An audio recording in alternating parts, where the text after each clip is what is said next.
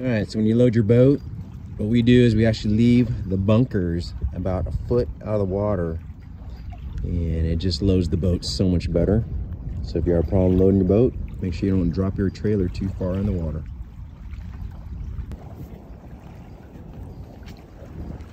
Push the butt end out. Okay, slow down. Slow down. Slow down.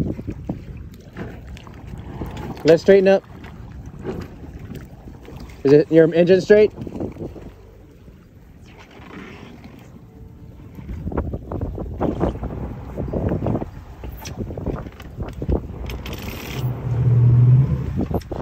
No more.